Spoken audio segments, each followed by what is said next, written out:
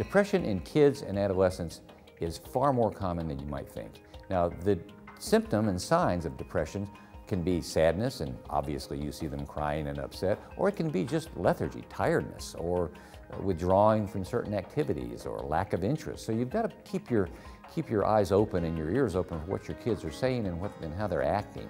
Now, depression should be screened for in every kid above 11 years of age. Starting at age 12, they should be screened. There are basically two questions to ask. Number one, have you lost joy in the things that used to give you joy? Going to a play, going to a movie, going out with your friends, uh, all kinds of uh, sports activities, things that you used to enjoy, you no longer enjoy. Also ask them this, do you feel more often than not sad and down in the past month or two? If they say yes to that, they're probably depressed. To treat depression, you can get therapy. That helps a lot of people, and medications, or maybe a combination of both.